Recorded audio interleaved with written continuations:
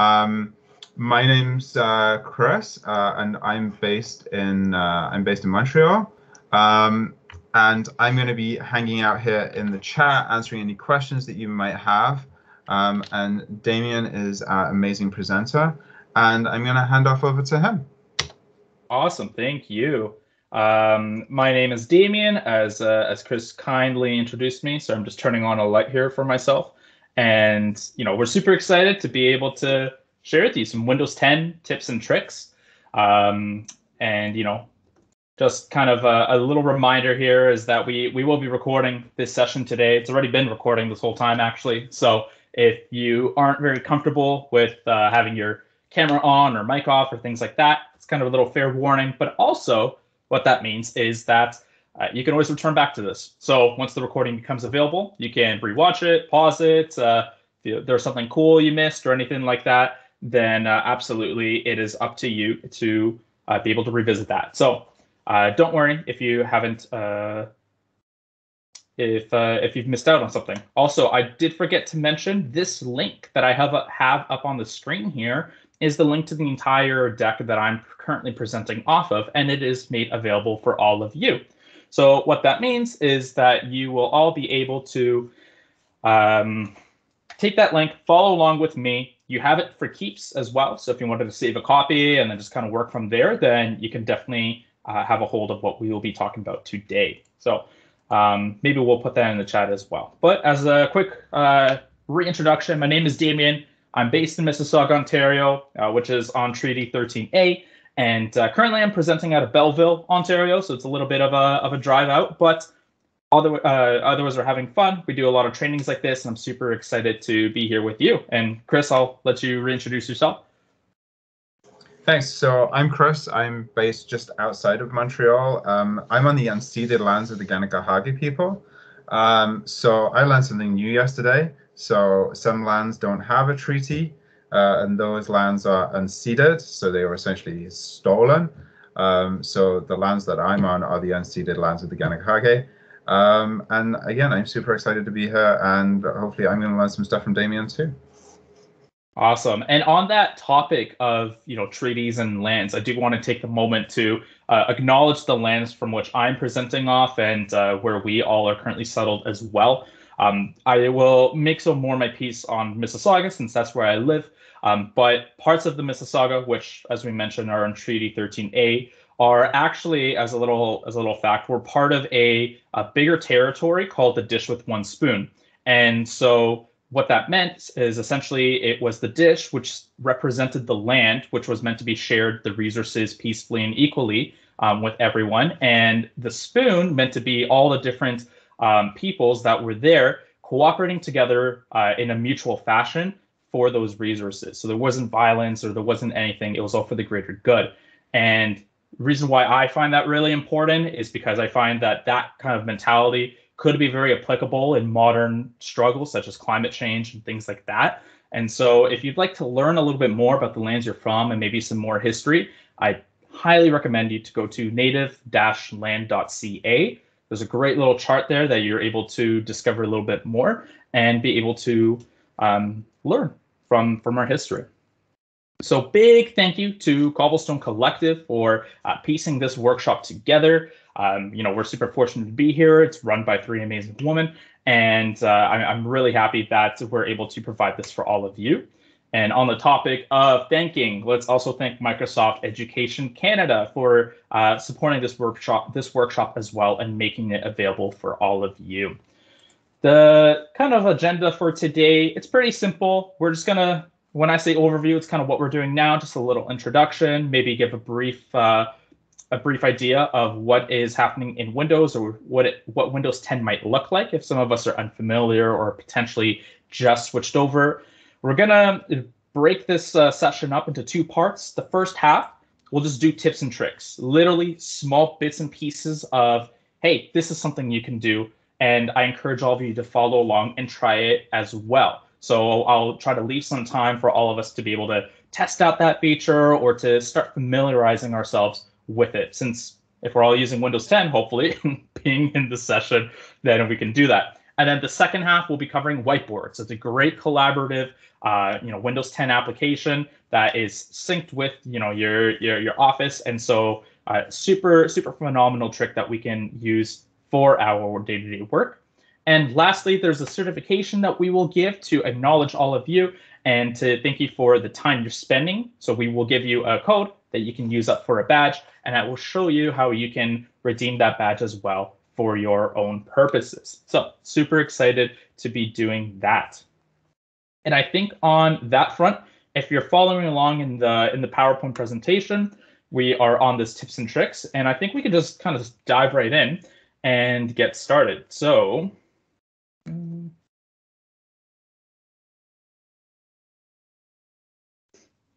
That's okay. I'll just minimize that.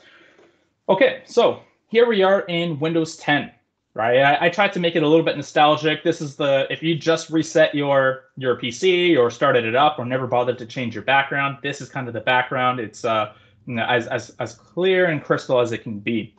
Now, for some of us who might be a little bit unfamiliar with Windows 10 or maybe we transitioned over from Windows 7. I know that was discontinued officially two years ago, I believe in January, but sometimes uh, some rollouts are slow or uh, we miss certain things, right?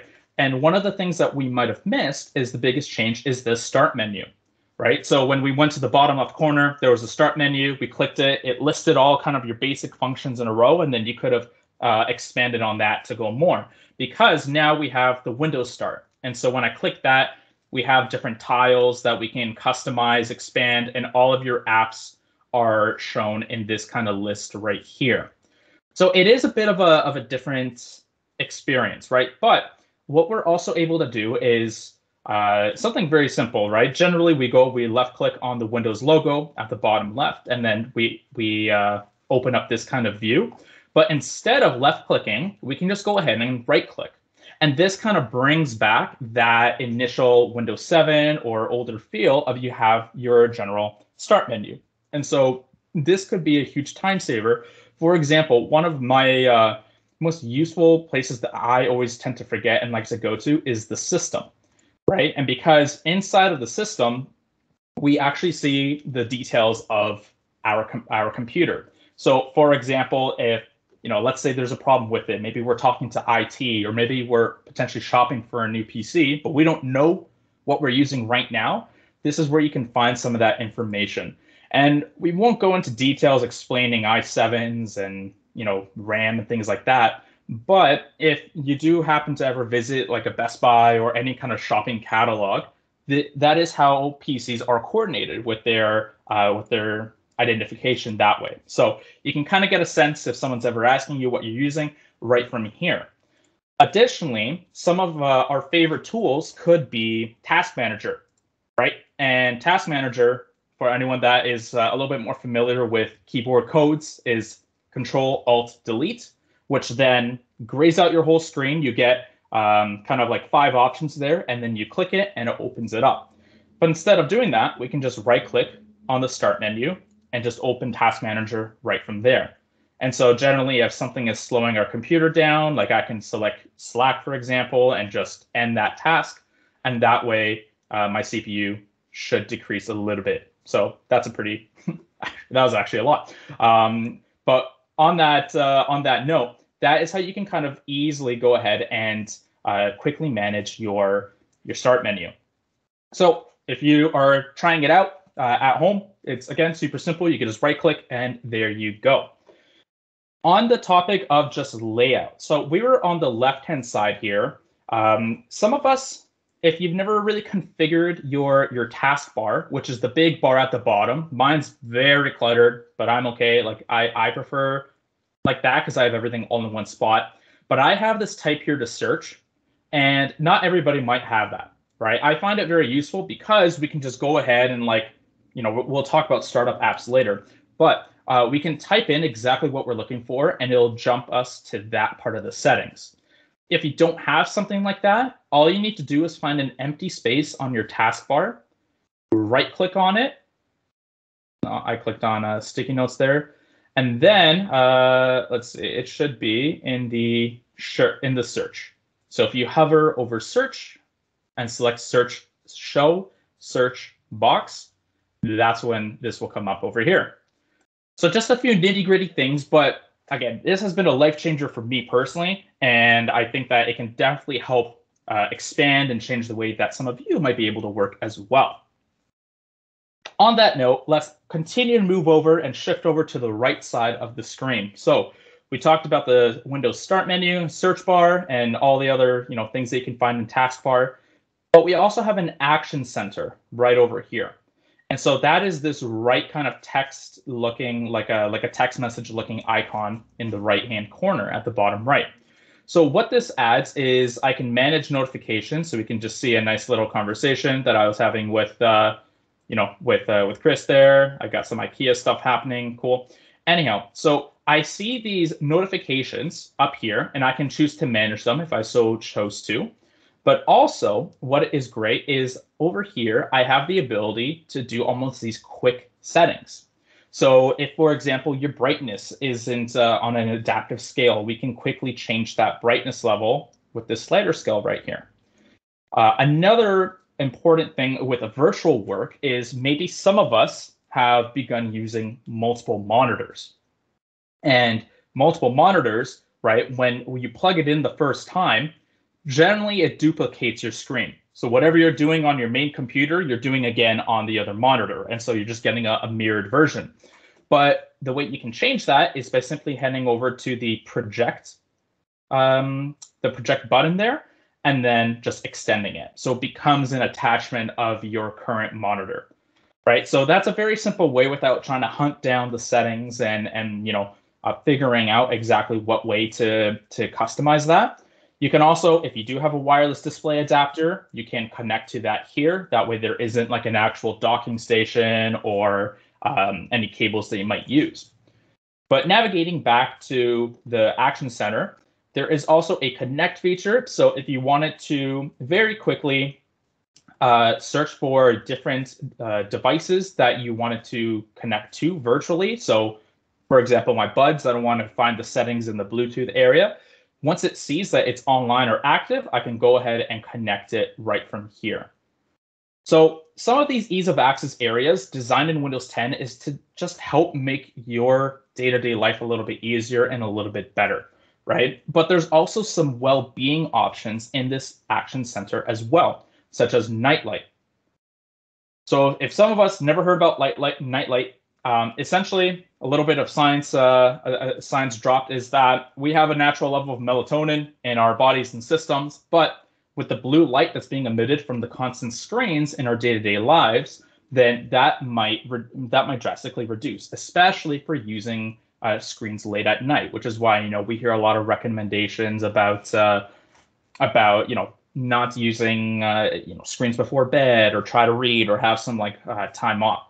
So by turning on nightlight, I have a quick setting where it starts diminishing or dimming the actual blue light that's being emitted and thus helping ensure that I have uh, as much melatonin as possible to help me fall asleep. Now, again, this isn't medical. I, I'm not diagnosing anything or things like that, but it's just something that could help a little bit in the future. I'm also wearing those glasses as well. But speaking on nightlight, is we we chatted a bit about this search feature search feature and truthfully i just kind of brushed over it right? I just kind of said well you know you can type here to search and that's it. It'll take you right to the settings. But we can customize that nightlight a little bit more. So if i just typed in i have to click in there first. If we just typed in night i didn't even finish the sentence but it, it's automatically popping up as the best match for nightlight and i click enter. It takes me immediately to uh, the actual settings of Nightlight. So this is applicable in everything in Windows 10. So if you're trying to change something and you kind of have an idea, right, or maybe you want to set up a printer and uh, and you don't know where to find that, you can just you know go to the search bar, type in printer, and, and it's already coming up, and I can go to the printers and scanners there. But going back to Nightlight is you can adjust the strength over here just a little bit. So uh, I have it pretty high. I, well, high, it's halfway, it's 53. But you can go all the way to 100. You'll have zero kind of blue light emissions there, and it'll all just be like a red-green hue. Um, a little uncomfortable for me, but for all of us, we can also schedule that as well. So right from here. Cool. So now that we discussed that a little bit, we'll return to that search bar in just a second. But before we completely move away from this right-hand corner, right, where we saw the action center, there is actually something called a minimize button. So I'm not sure. I'll try to describe uh, a situation. If you relate to that, that's that's great. Maybe uh, if you don't, that maybe one day you'll come across that. But if you have multiple tabs open, right? So if you're working on a project and you needed to open up another browser to research something, you needed to open up another application or maybe Teams to chat something up, and you start minimizing the first, you know, the the active thing you're working on, only to having to minimize the next four applications because you had them all opened up behind each other. If the goal was to get to the desktop, there's a shortcut that you can apply for that. So let's go ahead. I'm going to open up some uh, some applications here. We got some Word. We got some Excel. Uh, let's do a PowerPoint as well. That's my PowerPoint. So let's do um, another PowerPoint.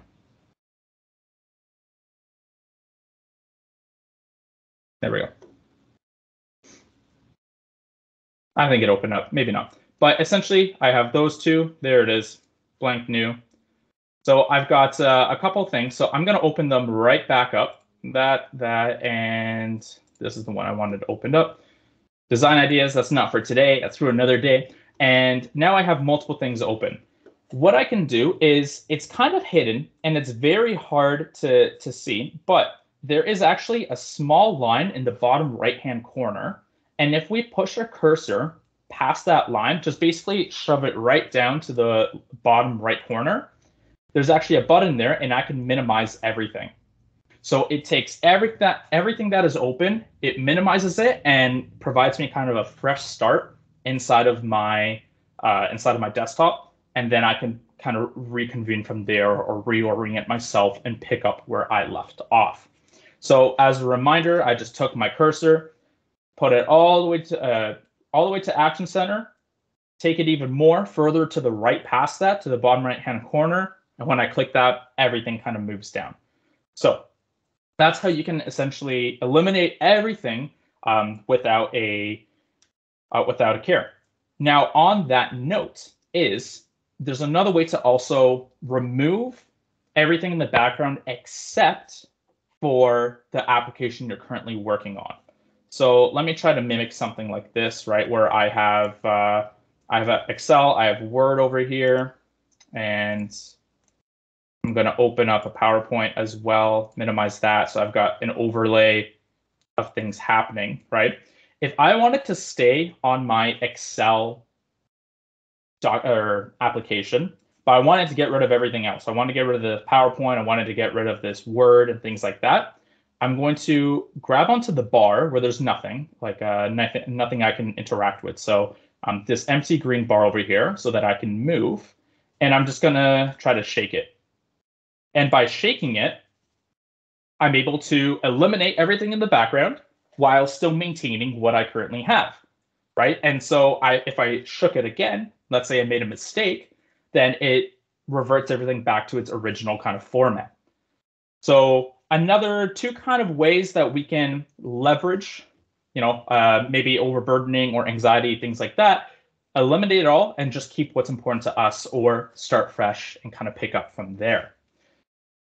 Cool. Now, again, if there's any questions, feel free to type in the chat. Chris is monitoring over there, and so he'll be able to interrupt me or ask anything. Should uh... Hey, Damien. Yeah. I have uh, I have a little tip. So you have a do you have a touchscreen? I do.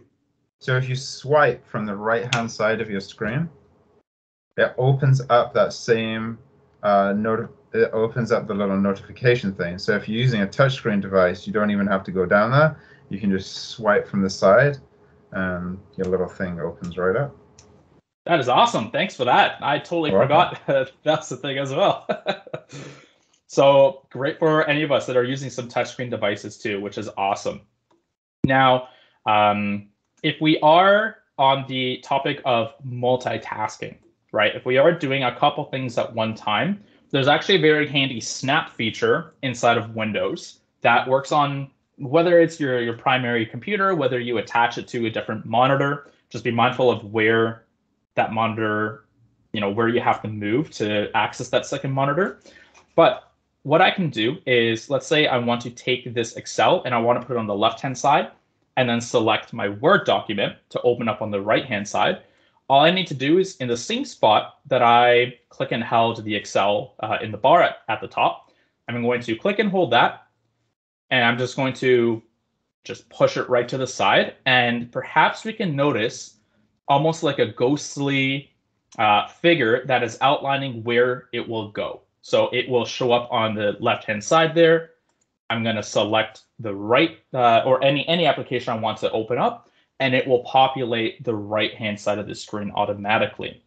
So if we are multitasking, whether we're using Teams or you know taking notes or anything like that, then we can kind of pop two things at one time. And then maybe there's a slide deck that's being presented, and we want to take our notes uh, right beside the the slide that's one way that we can customize that. So all we need to do, I'll try to do that again. I'm going to open that up, is take any application, click and hold in, in any bar at the top that isn't populated, and then just slam it into the side. And this is already pre-done, so that's why it just fit right back where it was. But if it wasn't, uh, as we saw the first time, uh, you know, in that kind of scenario, then we would have a uh, everything that's open and then go ahead and open that up. Hey, Damien, I have a question for you. So I actually use this feature myself, but I find it a little hit and miss as to whether it actually will resize those windows. Like I find it will do one side and then the other side like ends up as a hot mess. Like it's Do you have any tips on like how to get it to work every time, or like? Um, I, I'm, if if you have something, then definitely share it out. I think, in my experience, it depends on the application. So partly it is the knowledge you build with application. So for example, Teams doesn't do a, a perfect middle cut.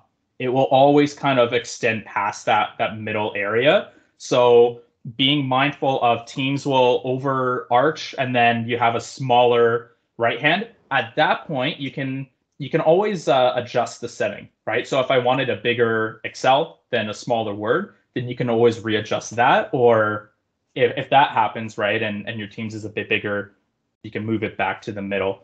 Um, so that's, yeah, that's yeah. like that's really awesome piece of advice because like I I find like in uh, Chrome like sometimes like it will shift it all like you get this tiny little section and then I'm trying to get like two even sections and I can't do it. So I'm sure people are gonna run into into those issues. But like this is one of my favorite features. So awesome. Yeah. And, and, and on the topic of like tip giving as well, I guess, is if you're doing this on the monitor that you're extending to, um, okay, again, that's why I said you have to be mindful of where you know where that border is, right? So it won't work if, if my monitor is on my left hand side and I'm trying to, you know, slam the application on the left hand side, it won't. It's going to transfer over to the monitor, right? So being mindful of that and maybe starting starting it on the left hand side of the left monitor and then moving towards the right is another tip you can try as well instead of you know working from right to left. Cool.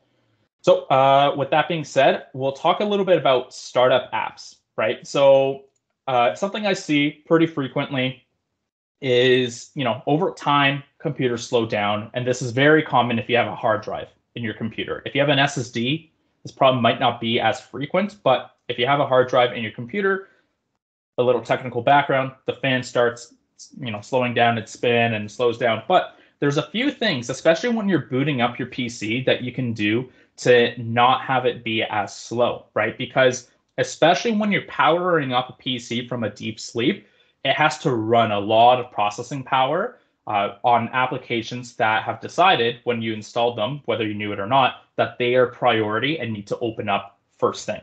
So what you can do in that case is going to our search bar at the bottom, typing startup, and we're going to go to startup apps.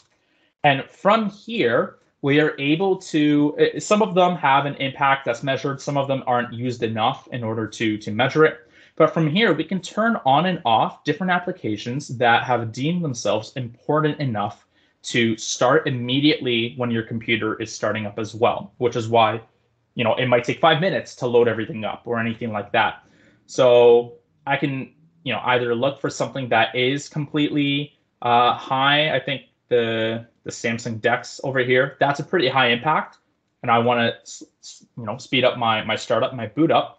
So I'm going to just turn that off. It's just a quick toggle. Uh, maybe Spotify, I don't use it every time. I usually just use it when I start working on something. So I'm going to turn that off as well. And so different things like that will be able to help your your boot up time a little bit faster and maybe not be as as slow when you are uh, consistently using it like that. All right, so uh, since we are working with administrative professionals, I wanted to kind of make this a, uh, a cool little feature or bring this in. And it's going to sound potentially silly at first, bear with me. I want to show you calculator, okay? Um, maybe we're using calculator on uh, on you know our phone or an actual physical calculator beside us as we might be doing like um, you know any kind of accounting or documenting or calculating. Um, but one problem I've consistently found, and I only recently learned about this, is that if I'm trying to calculate something, let's say I open up my Word, I have to keep shifting back and forth between the calculator and the Word, right? When I want to calculate something and then type it in, and then you know, go back and forth like that. But we can actually minimize this by on the calculator where we see the word standard, there is this uh, this little keep on top button. So I'm going to go ahead and click that and it moved to the top right corner. We can move it anywhere we want, truthfully, but it moved there. And now what's going to happen is when I open up that word again, it's staying on top of the application. So I can go ahead and type out, go back and start calculating whatever I need to and then revert back to my document and everything is in one place. So we're eliminating the need of going back and forth and closing and opening applications again by just having this consistent calculator on the screen. Now I'm going to turn that off for now. We're going to minimize Word, but the calculator function has a lot of measurements built into it as well.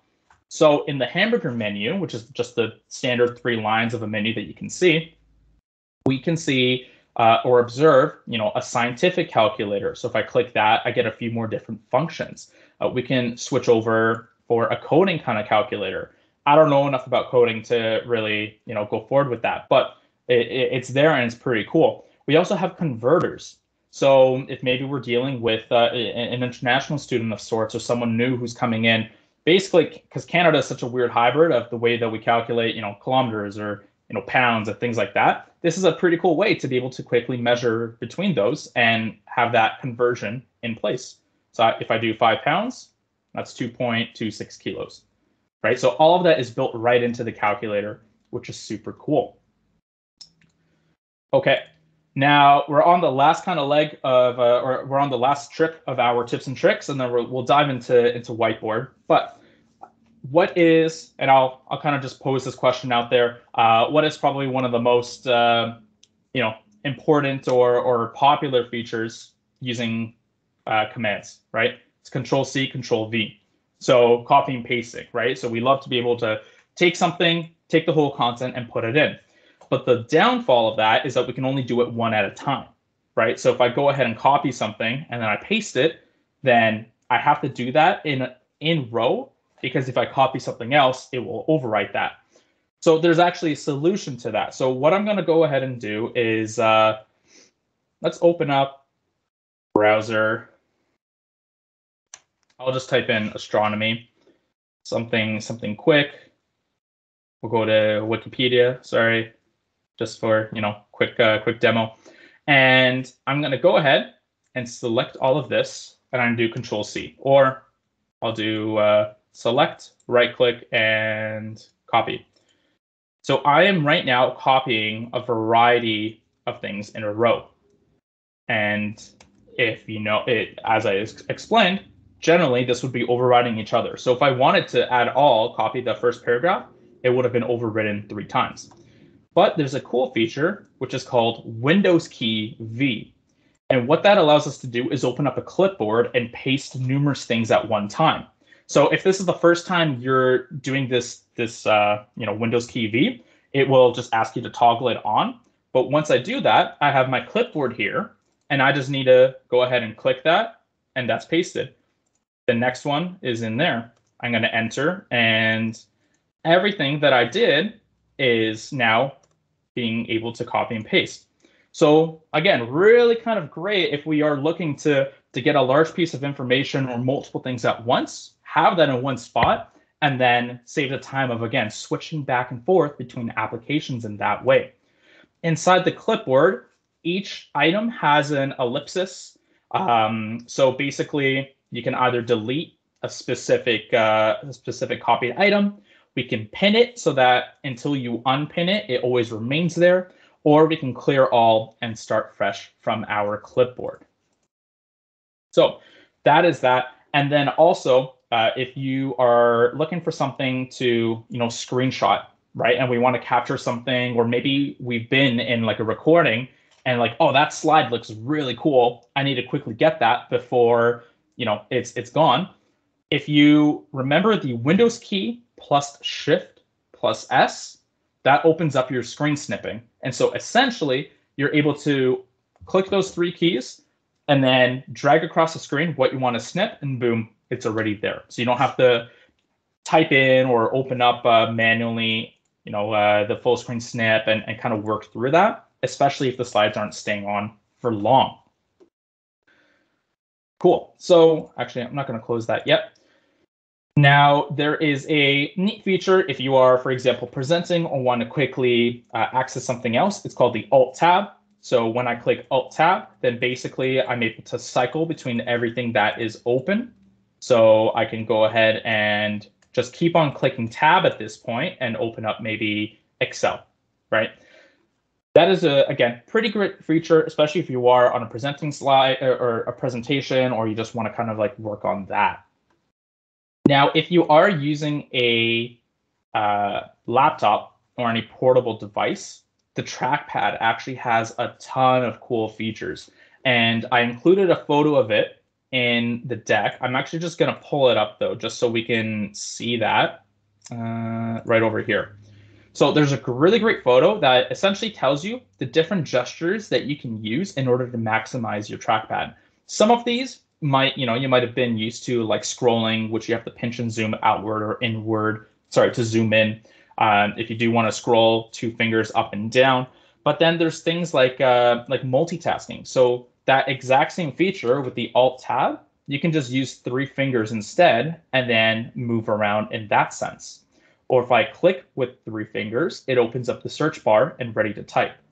So if you're not privy to using a mouse or anything like that, then essentially it is a pretty nifty way, especially if you're on the go or working on your lab in a commuting, anything like that, to be able to have very quick commands at your fingertips, literally.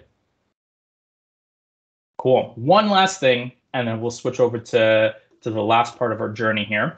But there is something called a task view button. And so within task view, there's two features that we're going to go over. If you don't see task view, the same way that I described how we can get this search bar, we're going to right click on any empty you know, taskbar spot. And the task view is right over here, show task view button.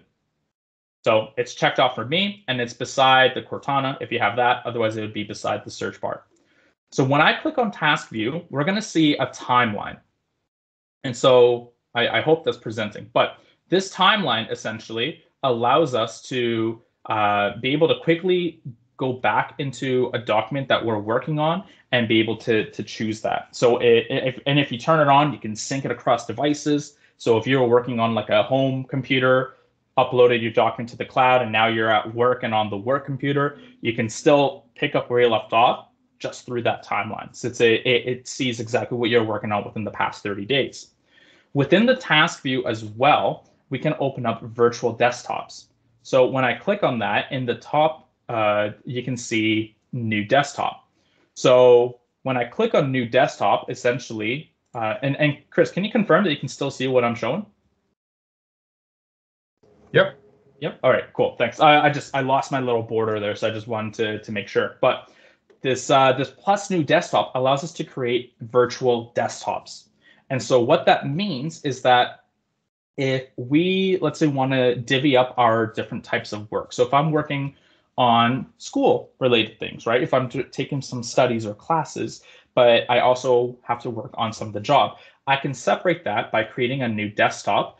And then now I can move things around into those two desktops. So by clicking the task view, I'm currently in desktop two and I don't have anything open. But if I click on desktop one, where I did have things open, maybe I want to move this PowerPoint presentation away. I just drag it into desktop two, and that's where it's found. So that's kind of a, a great way that we're able to go ahead and uh, leverage virtual desktops to be able to, you know, organize our work, maybe work at different things at a different interval, or if you're planning and didn't want to lose your progress, or you're about to share your screen just like me right now, and you didn't want to showcase some things, you can hide them away inside of a different desktop like that. Okay, I'm gonna take a quick breather here, a quick pause. If there are any questions, please let us know. If not, we're gonna dive right into whiteboard. Is there a way to label those desktops? That's a pretty good question. I've never actually tried. Um, yes, there oh, is. How did you do that? I just tried. I couldn't do that. I, I clicked, I left clicked on where it says desktop one. Or no, desktop it just two? opens the desktop for me. Huh. I I'm not sure. I just yeah, I clicked it and uh and, and it, it worked for me to to change it. So mm. personal. Well, we'll take a look at that. But yeah, I I literally just learned that right now. So that's uh that's pretty cool. That is cool. I okay. now have managed to move everything off my desktop and now can't find anything.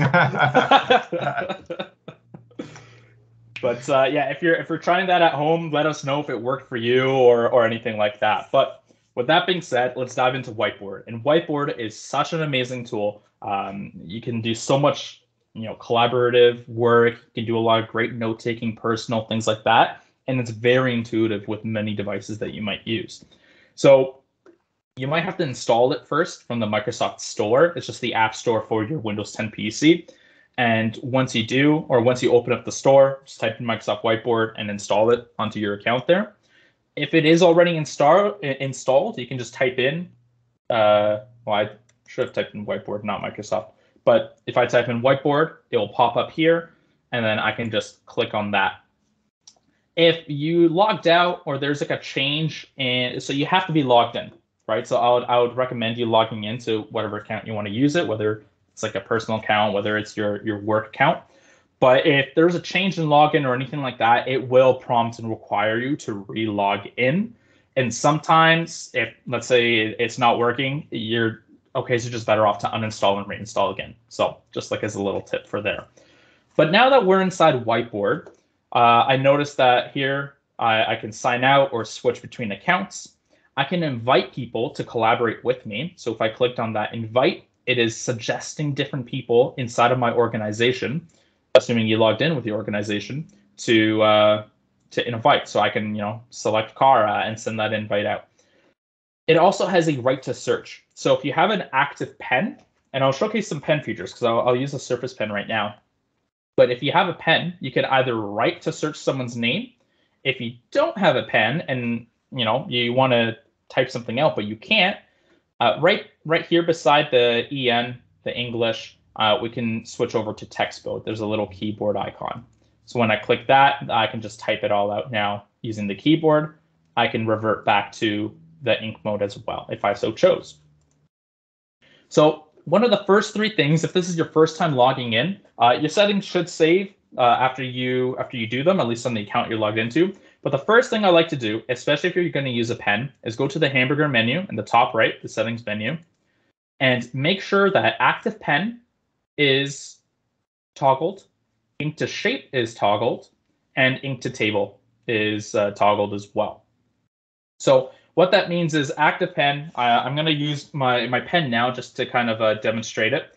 I and, and if you're not using pen, that's okay in order to begin using whiteboard, you have to select or click one of the, the pencils at the bottom here, right? So whether the green or the blue pen or anything.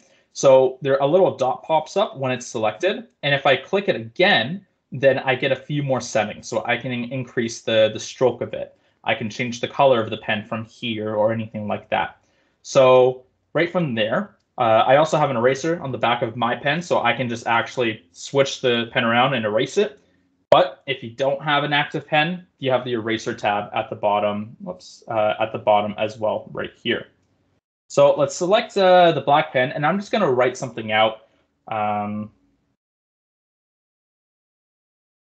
apologies for the rough penmanship. I'm writing on a clamshell laptop while still maintaining camera eye contact. So we've got a pretty rough, uh, you know, rough piece of writing there. But what's cool is we can make it better. So for those that aren't using a pen, there is something called a lasso effect. And we can see that at the bottom here, right? Where this little rope, right beside the ruler, there's like this little rope in a, in a circle. So if you're just use, uh, if you're doing that, you can use the lasso to select a large amount of items. But if you're using a pen, you can use the lasso to go ahead and encircle what you wrote, and then a, uh, a setting or a menu, sorry, shows up. So we can delete that, we can cut it out, copy it. Uh, you know, we can change the ink from here. But I'm going to go ahead and I like to call it beautify, but uh, it's their ink beautification and it converts my penmanship into something that's actually legible now. And so it's super great because everyone can go ahead and now select it. You can move it around and be able to change that. If there's still a mistake, you know, I can edit out uh, some of those and then, you know, we're good to go. So that's kind of how you can use some of the penmanship there. Another thing, some of the features that, that we touched on, we touched on ink to shape and ink to table. So if for whatever reason you need to draw a certain shape, right, I'm going to do a triangle here. It auto corrects that shape of what I did into kind of like a perfect triangle. Uh, if I want to do a square, there we go. Circle is always the hardest because you'll never have a perfect circle. Actually, that one kind of worked out, but usually ends up being like a, uh, an oval or anything. Now I'm going to go ahead. I can't erase this now because it's an item, so I need to delete that. But I'm going to go ahead and keep the square because now if I take my pen and draw it down the middle of it, uh, you know what, it won't work for that. So I'm going to redo it again. So if I go ahead and make the square and draw it down the middle of it, I can now create a table quickly. And so in just a jiffy, I was able to create a table. If I begin writing in it, it will actually keep on moving the table on its own to accommodate the space that I need to write. So it will automatically adapt to the penmanship that I'm trying to input on here, which is super cool. And then once I get rid of that text, it reverts back. So those are kind of some of the, the penmanship uh, and, and you know pen features that you can use if you had one. If not, then there's uh, some really great stuff that we can still kind of go over. So we can add a text anywhere. And when we say whiteboard, whiteboard, exactly like OneNote, is it's forever. You can go in any direction so that you're not essentially cluttered by your ability to um, express different um, different ideas or the way that you want to input something. So if I add a text, I can click this capital A at the bottom. It adds the text over here, and then you know I can go ahead and start typing whatever I want if that's even spelled correctly. I can select that and I can move it around anywhere. So, uh, you know, I can do that. And if we're collaborating with somebody, if somebody wrote a suggestion or an idea or any note, I can actually select that and just give them a little thumbs up saying that I agree with them. It's a, it, it's a cool little way to see um, who's interacting with the classroom. Moving down the, the panel, right, we have a sticky note. So we can add sticky notes anywhere, exact same kind of format. I can click and drag this if I so chose. And if I go ahead and type in again, uh, any kind of word, sticky note here, I can go ahead and now select that and the same options come up. So if I wanted to change the background of that sticky note, the color, I can go ahead and do that.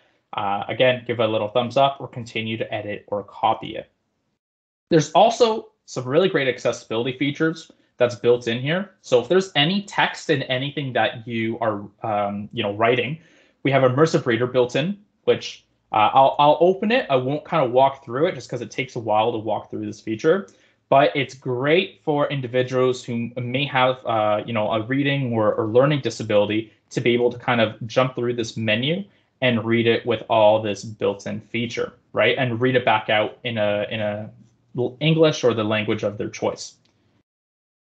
But moving back out, we can also add alternative text. So what we're doing here is if there is anybody that on our team or any student that's using a screen reader, they may be visually impaired or they need a screen reader to help them navigate through. Screen readers can't read pictures and they need alternative text in order to help read out what an image is showing. So if we're adding in a picture, we can just click alt text and then give the description of what this item is. Speaking of pictures, that's the next kind of item. So I can insert anything from uh, you know my library, my my PC library. I can take a picture from my computer, my PC, if I so wanted to. I'm gonna go ahead and do Bing image because I wanna I wanna show something really cool. I, I apologize, this isn't really admin related, this is more science related, but I'm going to go ahead and type in heart diagram. And there's a specific image that I want. It is this one right here. So you can select any image, you can click the plus sign, and boom, it's in imported in here. And we can go ahead, select that, and we can move it around. Now, let's say I wanted to make material to either test or, you know, uh, give credit where credit is due, obviously, but maybe I don't want these words here, right? What we can do with any photo is bring out the inking of that photo. So in something like this, that's basically already inked, it's easy. So I click on this wand. It's going to do a little green box around.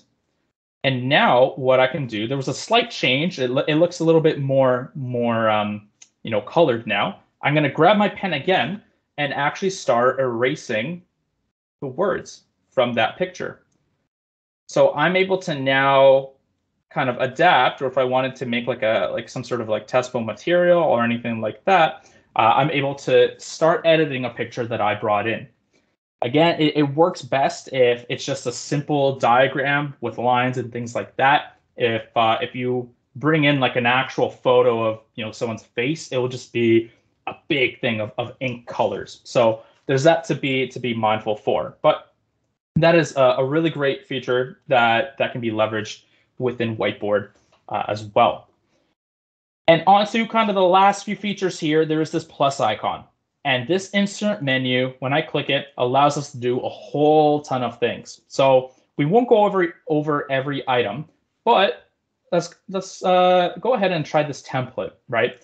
So if I click on that template, there is a ton of different topics that I can look at. So if I do want to do like a meeting template, maybe a, a project planning template, anything like that, a planner, we can go ahead and import that. But I'm going to go ahead and click brainstorming. And immediately what it kind of does is that it creates this template and brings it into here so that I can start either working on it myself or collaborating with under with others. So I can select in here. I, I have to go ahead and click the pencil to, to edit that region. Just give me a second here, just because it's getting a little difficult with the pop-up but maybe tips and tricks. So if I was planning for today's session, uh, the agenda, I can go ahead and start editing that was tips and tricks. Item two was whiteboard. And I can start filling this in. As somebody who might be collaborating, we can always give a little thumbs up aside to see maybe we covered that. We're just about wrapping up with whiteboard. So I can go ahead and uh, click that as well as as completed. Another way is again we can if we have or want different ideas for different team members or groups, maybe we can you know set that as these two are I have to put in ideas, right? Maybe if I was working with Chris and I wanted Chris to put in some ideas of his own, I can be like, hey, go to either the top two right ones or on, on the green ones. And I know that Chris's colors are kind of there so that we're, we're generating creative spaces that are you know best for some learning uh, strategies. So that's how we can actually bring in a, a, workable template and an editable template directly into OneNote and then co continue to customize from there. Uh, I'm actually just gonna keep on moving over to the side here just to demonstrate the, the whole whiteboard capability of continuously moving along. Going back to the insert menu, we can also uh, notify here, well, you have stickers if you want to be a little bit fun. You know, you can uh, go ahead and put something really cool. Why not? Right. So if you want to kind of get a little reassurance or things like that, we can put in a sticker just for fun. But more importantly, we can put in actual documents. So we can put in PDFs, Word documents, or PowerPoint documents even, and have that incorporated there. So again, for anybody that might be following along and wants to kind of uh, switch task and multitask like that, then let's go ahead and click uh, this PDF over here. It'll open up your PC documents. I'm just going to click a, a text here and it will display. So if you had multiple pages in your Word or PDF, they would arrange in, in a nice fashion. But otherwise, we select either one page or all of them, and then we're going to insert it. So now I can insert this page as like a reference point and be able to start annotating or sticky noting or anything like that on the right hand side. If we're collaborating though, it's pretty easy if you know someone comes in and starts editing over that, right? Or or maybe they wanted to edit the actual um, you know ink grab and then everything is not text anymore, but just a, a picture. We can actually lock that that image right here. So if I select this and click that lock background, what that means is that I can't interact with this um, with this particular piece of PDF, and it I can still write over it and stuff, but it won't actually change the, the the principle, the fundamental document behind it. So if you know we are working in a group or collaborative setting, and that is something to be mindful for, then you know we do want to be able to to do that. Okay, so for for some reason, uh, my mouse is getting hidden actually in whiteboard, but that was the last uh, the last feature I wanted to share with all of you with whiteboard. So there's a realm of possibilities and opportunities that we can leverage using uh, the whiteboard app, and uh, it, it's pretty great in order to boost that kind of productivity and collaboration. Okay, uh, I'm going to now go back to the slide deck. We're just what we're going to do is uh, start wrapping up, but I wanted to show you about the uh, the code that we're able to do for today. So uh, as I mentioned earlier, let's go ahead and switch that. So as I mentioned earlier today, uh, we would be more than happy to give you some recognition for the work that you did, right? So for the training that you um, that you partaken today, we can redeem this on in the Microsoft Educator Center. So maybe I'll leave it up for a little bit if we wanted to take this code down and uh, give some time as well, um, you know, for, for Chris to potentially put it in the chat as well. But what we can do is we can redeem this code on education.microsoft.com. And I'll show that in just a second what that is. But most importantly, this place, the, the EDU Center, the MEC as we like to call it, it's a place where you can continue to expand your learning and also get recognition for uh, codes essentially for, and badges for the work that you do. So really great if uh, you need to complete, you know, your ALP uh, courses or credits, right? Or you want to showcase to um, to anybody that you're you're kind of working on your own time and you are upskilling and expanding your learning. And the reason why this is great is because you can take those accomplishments with you in the form of a transcript and leverage that as your kind of professional token. So I'm going to go ahead and actually just open uh, or go back to my opened uh, web page over here. And I'm just going to open up a new tab and we're going to type in education.microsoft.com. If you've never been here before or signed into this before, I'll walk that through just so we kind of have an idea of what it is that we're looking out for. But you know, uh, right from the get-go, we can dive in and see what's actually available here. But uh, we're going to click the sign in at the top right. And if you've never made an account before, it'll prompt you to create an account. My personal recommendation is to use a personal account. And the reason for that is because if you do end up moving along or you know getting promoted or going to a different district or anything like that, then you can take those accomplishments with you. You don't want to be in a situation or a spot where everything you've done was locked behind a now inaccessible uh, email. So that's kind of my recommendation is to use a personal account when creating this and then be able to go ahead and uh, type that in. So essentially what would happen is you go to your profile icon once your uh, account is created. You can, oh, we'll, we'll go to the my profile in just a second, but all you do is go to redeem achievement code. You'd put in the T, you know, whatever the, the code is and click redeem. And then it gets added to your uh, to your accomplishments. So you can see that in the top right hand corner. We're going to click on my profile and these are all kind of the, the badges that you can accumulate. So this is what I've done in the past kind of three or four years over time. And I can, again, redeem my code here because there's always multiple ways to achieve that. And lastly, here's where I can view my transcript.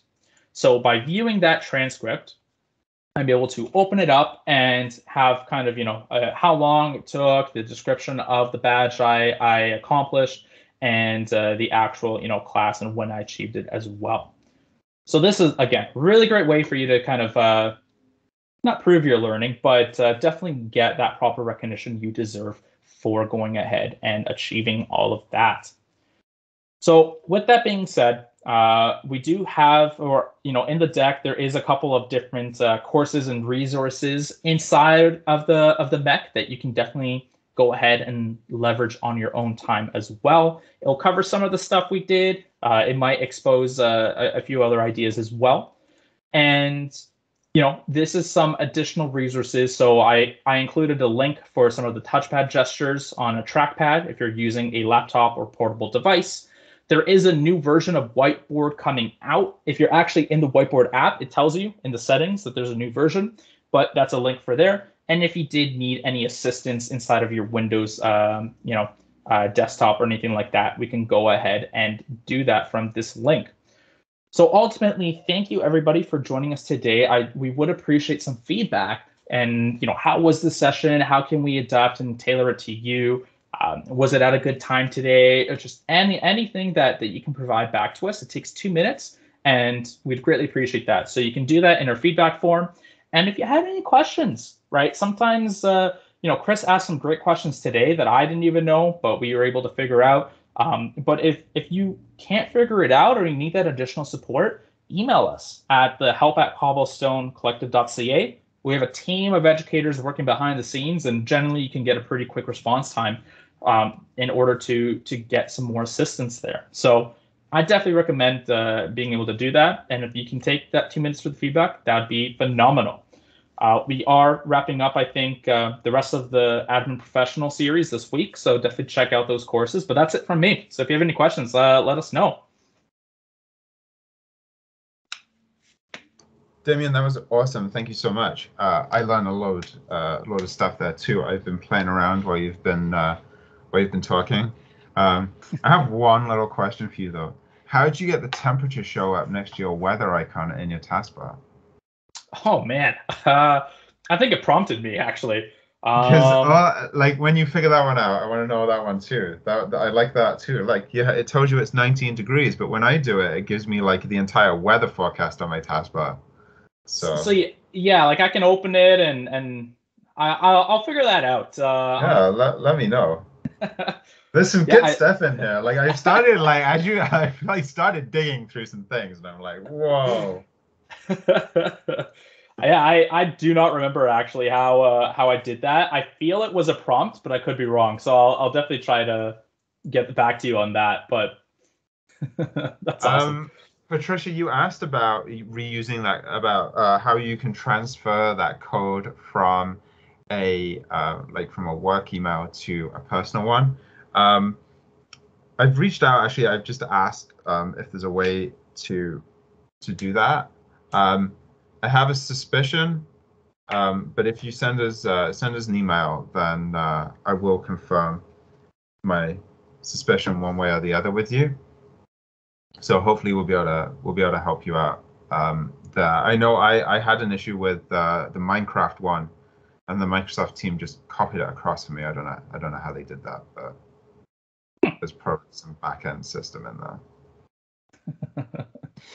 Yeah, there, there's always there's always someone that can take a look at one point or another. So hopefully that helps. But if you also have the code like today, and you put it in on your work account, that code can still work on your personal, so you can try that. I think, but uh, but yeah, but definitely give us an email. So uh, if you didn't already fill out that evaluation, uh, that would be that would be awesome if you could do that. If you've got any any questions, feel free to type those in the chat, unmute, let us know what it is that you need to know. Um, otherwise, we hope you enjoy the rest of your day. Um, the thunderstorms have gone away and the sun came out. So they they've cleared Montreal, which means everyone else is good now, right? Yeah, so. everybody's good. They're, they're, they're off to like the Maritimes. So unless you're in the Maritimes, you, you're good to go. awesome. Yeah. Well, thank you everyone for joining. If you did have a question, we'll be on here for a few more minutes. But if not, day is yours, and uh, we look forward to to hopefully seeing you around. Um, yeah, so um, you can use that code in more than one account. So that was my, so Patricia, if you're still here, that was what I was going to suggest. So go ahead and take that code and put it in your personal account and it will apply the same credits. And if you have, if you remember the codes from yesterday's session, um, then you can use that one too to get the credit for those. Or, or if you don't remember, send us an email. And We can find out those codes, right? The, for them from the trainers. Awesome. Well, if there's no questions, have a great day. Um, enjoy.